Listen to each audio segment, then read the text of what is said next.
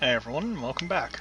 So, at the end of the last episode, I said I thought there might be more that I needed to do to get to, uh, to Ellmac, Ermac, whatever you want to call it. Uh, I was wrong. There is not anything else I need to do. However, there kind of is. One is that I need to uh, point out that I did have a small technical error, so there's going to be some values that are different. I'm going to have more coins, fewer weights. Um, I accidentally overwrote a save, so I've taken up or taken to backing up saves by multiple save using multiple save slots, uh, most of them off of the main page. I accidentally overwrote my current save with my personal playthrough. And I need to go, one, turn down La Mulana a little bit more. Hopefully you guys can still hear that, but buy some shurikens. Uh, 35, that's going to be not nearly enough, but it'll have to do. So let's go to the Temple of the Sun. Quick uh, save here. And let's head down to Ellmac. Ermac. Whatever you want to call him.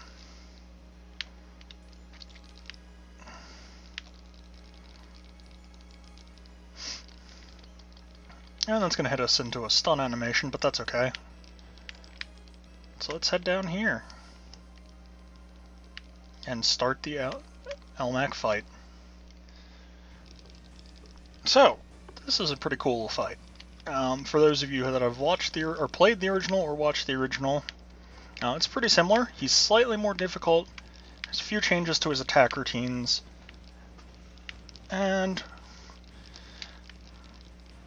his vulnerable spot is his head as long as his mouth is open. His fireball attacks leave a permanent uh, area of damage.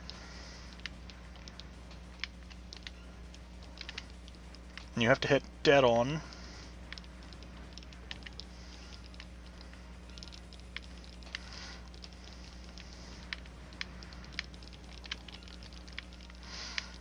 And this is rather difficult fight without a large amount of, uh...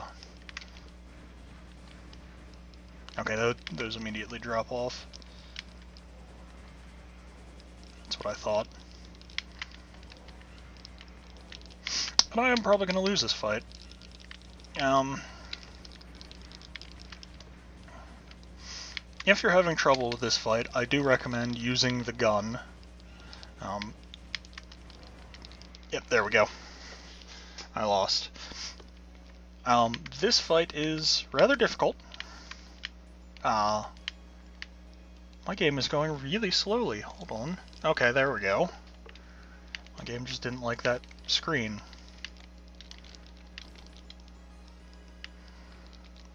So, this fight's pretty difficult, mostly because of how the, the fight actually works, because of the, uh, the minecart mechanic.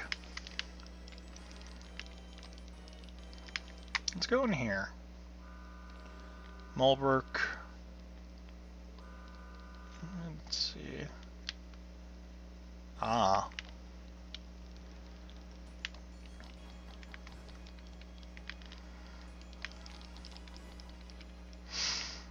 let's head on down. And I'll do, there probably will end up being a death montage of sorts. Until I finally get bored and uh, buy the bullets. And bullets cost anywhere from 350 to 400 coins to buy, and it, it gets a full set of six bullets when you do that.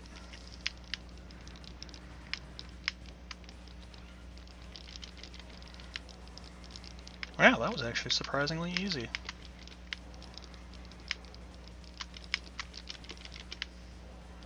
This is a strategy I never thought to try in my personal playthrough. And his pissy boss mode is that he starts moving faster. Well, I mean, everything starts moving faster, but that's beside the point.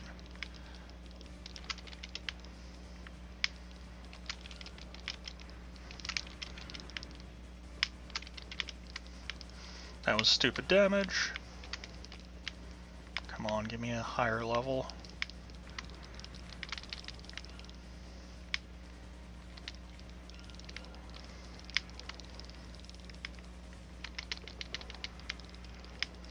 And we are getting, because it's going so fast, we are getting close to beating him. Oh, come on. Oh, that was stupid. Okay. I'll give it one more shot before I switch over to montage mode.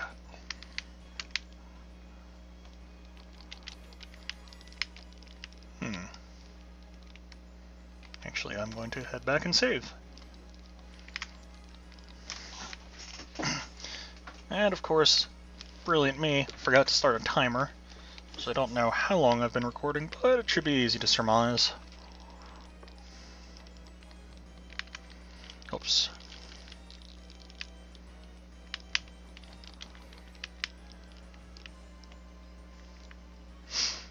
Also, I feel I might want to point out that if uh, you do go to the left at the beginning of the fight, since you can go either left or right, uh, you will die, because his stomp attack is an instant death.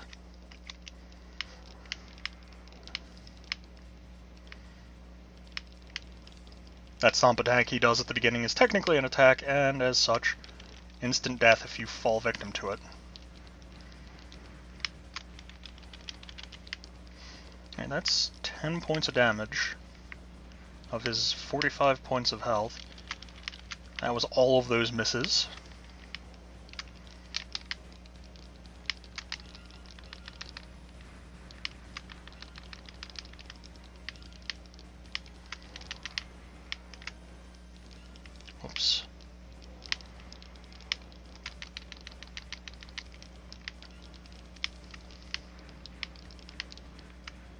Well, that attack is kind of hard to uh, avoid.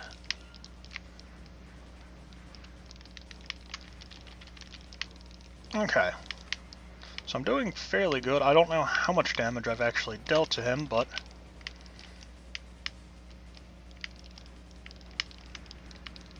It's at least a reasonable amount. Oh boy. Yeah, there we go. Alright, montage mode. Which just means editing work for me. So, I'll see you at all of the death attempts, or all of the deaths, or uh, finally at the successful attempt.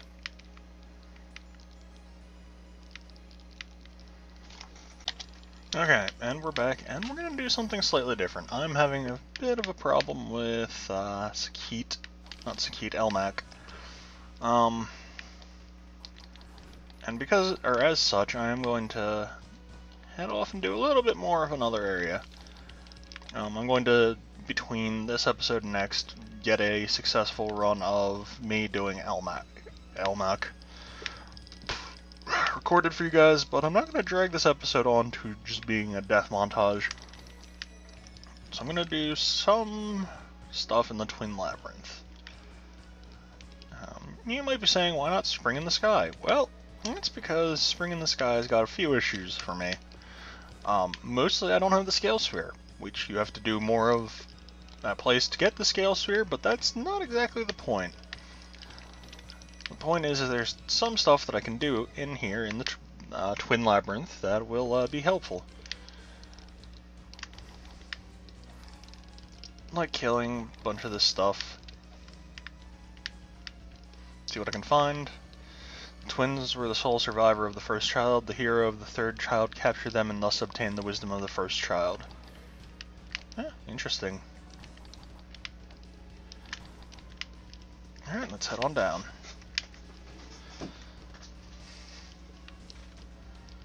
Hmm.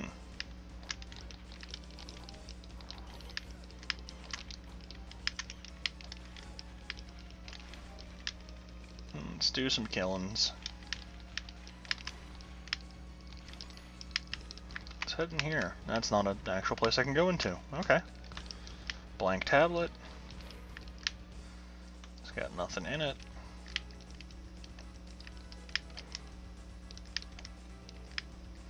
Head on up. Anyone who's actually watched my uh, Let's Play of the first one remembers what the that Ankh Jewel is. Aside from the greatest source of entertainment ever.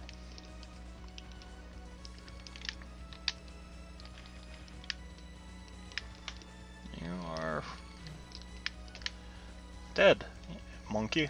Dead. Alright, so let's go ahead blank tablet and try and grab the Jewels. Oh wait. It's still bats. Which counts as a puzzle solved. Triggering the bats.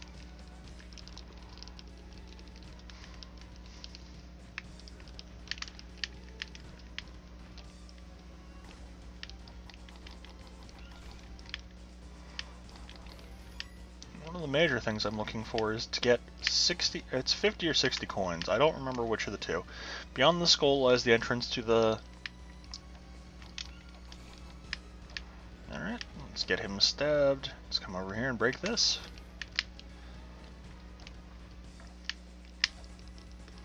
Let's head up here.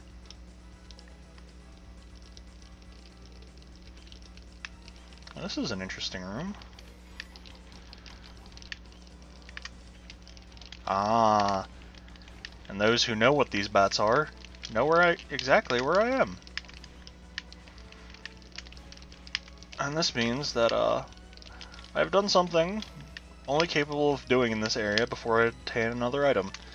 I am in the backside. Something you get into fairly early on in uh, the first La Mulana, the original. But in this one, takes a little bit more work.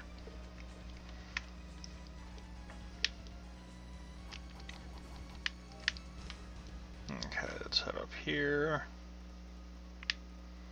Set back down here. Alright, we've got almost exactly what I need to get what I'm coming down here to get.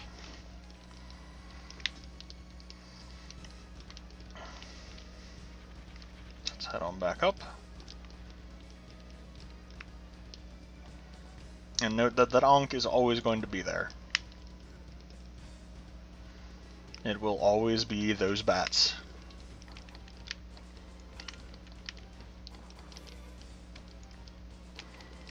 Let's head on down this. This one takes me where I want to go. Or it doesn't. And this is going to take me back out of the zone. The problem with the Twin Labyrinth is it's a little bit confusing. Just a little bit at first. I don't remember it too keenly on my own, but that's okay. I can grab the, or head up this. Head over here. Head up this.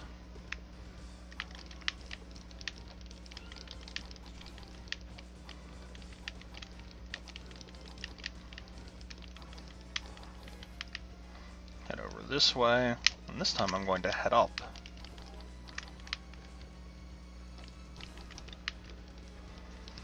And not do stupid things. Alright, this one I want to head down from.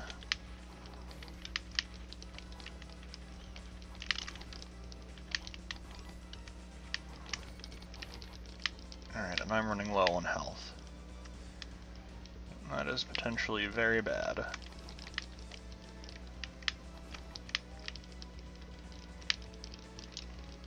And replace potentially with is very bad. Alright, back to the front side. I'm going in giant circles. I'll be back when I get to where I need to go. Alright, we're heading back in, and this is one of those times where I feel extremely stupid. like, really, really stupid. About, uh, where I needed to go.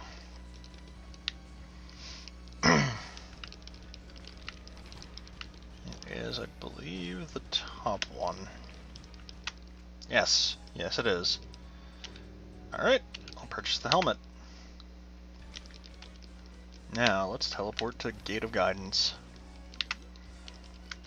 Someone you might be saying, is that all you wanted to do? Yep, that was all I wanted to do in that place. All I needed out of it, because this unlocks a lot of things for me.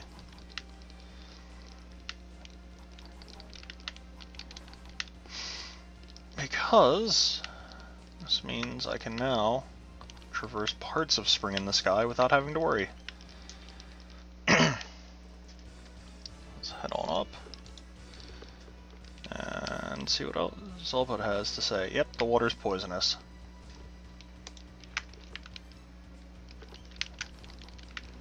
As you can see, we're losing some health as we enter it. Open the floodgate, the water will once again flow. Open the floodgates of Oannes. So I'm going to quick break these. Kill some fishes. And let's head up to the top.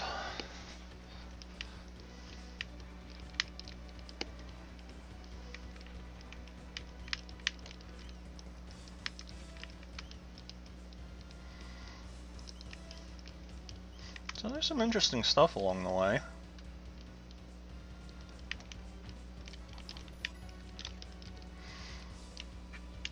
This is the aqueduct Miguel made, but it looks like it's not working anymore. Interesting.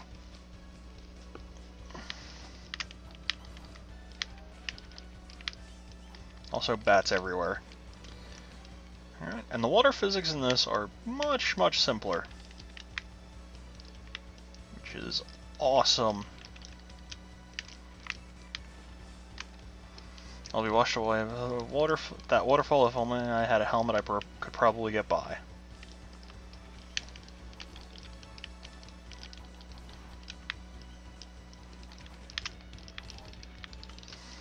And come on, bet. Come over here. Say hi. It's your old friend Lemeza. And you don't say anything.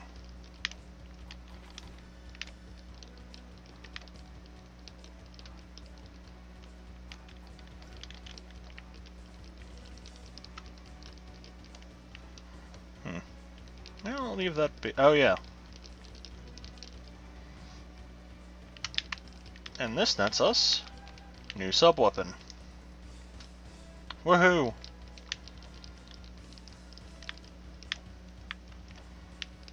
what is this new sub-weapon? It's called the Caltrops.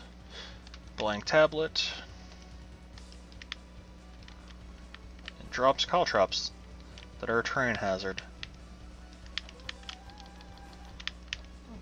This. Map. The priest Oannes takes the form of a fish. This land flourishes under him, and is only he may close the floodgate. Interesting. Let's head up here. Partial floodgate. Or partial tablet that it says nothing. Uh, skeleton that says nothing. And another tablet. Heal thine tired body. The, the Harry will gently heal you. The Harry will help thy fight. The, the fairy will provide treasure. The fairy will reveal secrets. That's another one. Or that's another problem or puzzle solution, sort of. Okay. So we want to get on this. We want to head up. And not get hit by any of this stuff. Okay. And we want to keep heading up.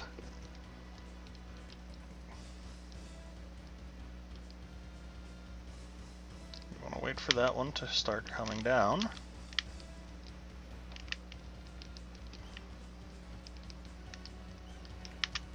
That was awkward. And we want to head here. And get this, obtain scale sphere. Sweet. This means I got what I came here to get.